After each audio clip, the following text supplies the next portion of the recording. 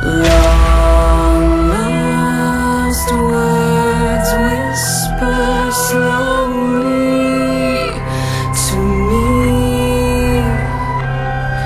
Still can't find what keeps me